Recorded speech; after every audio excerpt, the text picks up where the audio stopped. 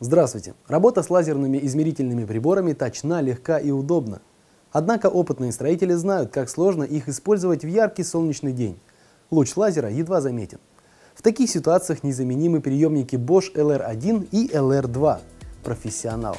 Приемник закрепляют на металлической рейке с помощью магнитных держателей напротив нивелира.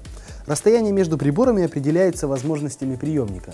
Например, LR2 принимает сигнал на расстоянии до 50 метров, а LR1 до 200 метров. Несмотря на это различие, принцип действия приборов одинаков. При попадании лазерного луча точно в цель срабатывает звуковая и световая индикация.